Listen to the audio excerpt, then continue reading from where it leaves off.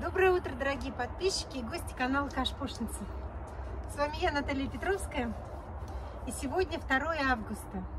Вот так вот незаметно долгожданное лето пошло по наклонной, так сказать. Давненько я не крутила обруч, какая-то на меня лень навалилась, но лень не с точки зрения лени как таковой. И даже вот иногда говорят лень матушка – у меня, например, моя матушка вообще не про лень. Ну просто вот что-то мне как-то неохота было. Как-то я больше думала, чем делала. Делала, на самом деле, самое лучшее, что я делаю, когда мне просто думается, это я плету.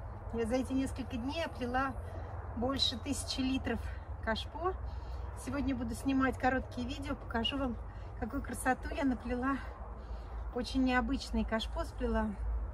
Но сегодня не об этом. Сегодня 2 августа, я чуть не пропустила этот день, ибо ровно год назад, в этот день я разместила ролик о своем увольнении. О том, что спустя 16 лет работы на одном месте, вдруг так случилось, что я получила уведомление о сокращении.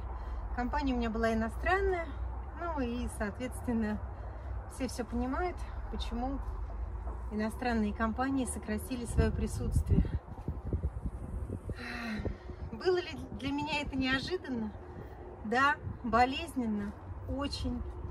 Да, и до сих пор, наверное, я как-то немножко переживаю, потому что нравилось уж мне всегда говорить и думать, что я сотрудник компании Unilever, гордилась я компанией, любила я свою компанию.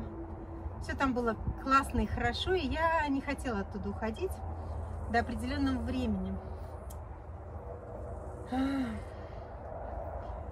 Определенное время, это я имею в виду приход нового руководителя. И знаете, когда приходит человек, с которым у тебя не просто нет понимания, а есть просто, знаете, взаимное раздражение, то никакая работа, никакие деньги это не могут, как бы, как сказать, смирить тебя с этим. Ой, сколько я нервов на это потратила, бессонных ночей. И сейчас, спустя год, я вот вспоминаю это время, пока вот у меня был этот начальник, и думаю, на кой я все это терпела? Вообще, для чего мне нужен был, а, нужно было это все терпеть? Наверное, для того, чтобы сейчас, вот в течение этого года, каждый день получать удовольствие от того, что мне не надо слушать дурака. Дурака и дурацкие задания выполнять круглосуточно, днем, ночью и прочее, для того, чтобы ценность каждого дня сейчас ощущать полный, в полную силу. Наконец-таки вот наступила такая жара-жаришка, можно надеть легкие шортики, маечку и не идти в офис, не сидеть перед компьютером с заполнением определенных каких-то очередных дуростей, а вот так общаться с вами, разговаривать. Что же у меня произошло за этот год? За этот год э, я столько для себя сделала, сколько не сделала за всю свою жизнь до этого. Нет, ну, конечно же, пока я работала и пока у меня э, были такие карьерные планы и планы в планы закрыть свои основные потребности, такие как жилье, там, квартира ребенку, ну, чтобы у меня не было, голова не болела о том, где жить, что есть, где отдыхать, где время проводить. Вот сейчас смотрю на свой сад и понимаю, что вся эта красота тоже возникла благодаря тому, что я 16 лет работала на этой работе, а до этого еще 33 года работала в других компаниях. Мне было тяжело, но это все того стоило. Вот все, что у меня есть в этой жизни, это все тоже как бы, же, ну, как, как сказать, вознаграждение за тот труд, который у меня был. А сейчас, видно, настало время получать удовольствие от заработанного и от того, что от того, что сейчас в этой жизни, э, что сейчас я могу э, проснуться утром не по будильнику. Могу в 5 утра проснуться, походить, погулять, попить кофе и опять лечь спать. Могу в 2 часа ночи лечь спать. Знаете, свобода, вот это вот волшебное слово «свобода», когда ты сам себе хозяин. Я очень долго к этому привыкала, очень.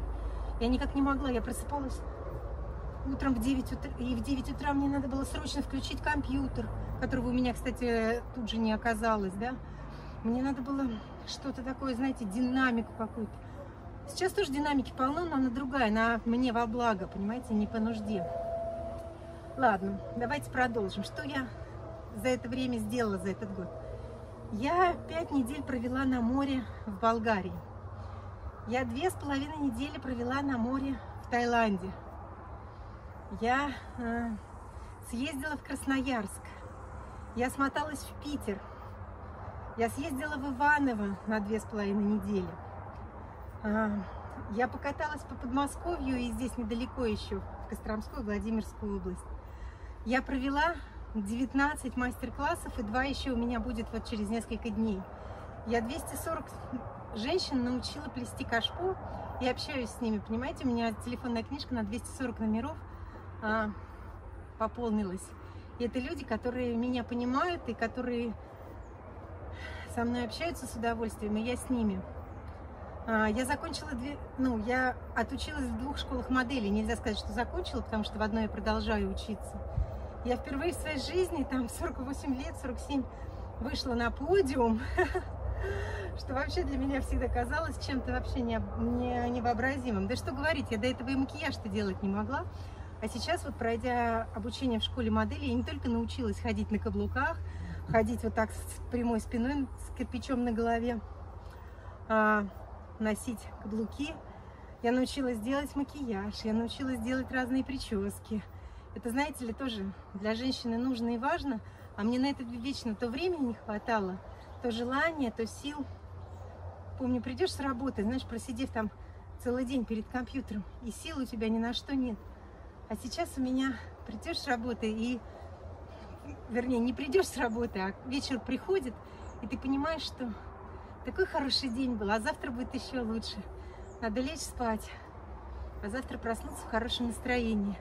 Я, кстати, перестала понимать, какой сегодня день недели. И это для меня прям очень хорошо, потому что раньше я прям в пятницу уже впадала в настроение эйфории, в четверг даже. А в воскресенье, во второй половине дня у меня уже настроение вообще портилось. Я понимала, что завтра на работу, а мне это не нравится. Ну, короче, вот такие вот дела. А, ну, и самое главное, что мы здесь собрались-то все. А, у меня стало 22 900 подписчиков. Вы представляете? 22 900 подписчиков. Столько человек со мной по утрам крутят обруч или смотрят, как я кручу, общаемся.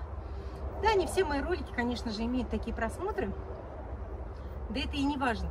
Важно то, что э, для меня это очень весомая цифра. Я даже себе не представляла, что такая цифра возможна.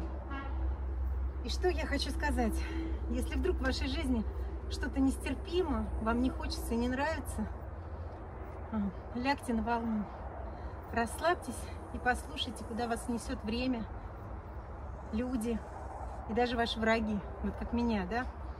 Вот тот человек, которого я на дух не переношу не переносила, в итоге сыграл положительную роль. Его руками моя жизнь изменилась.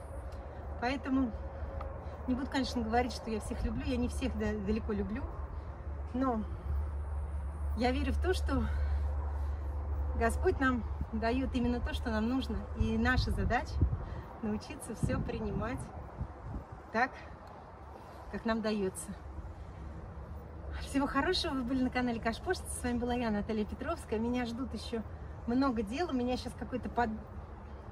такой подъем. Сейчас я доделаю то, что не доделано. Допишу те ролики, которые не дописаны. И давайте встречаться на канале. Не забывайте ставить, ставить лайки и подписываться, потому что для меня эта цифра очень важна.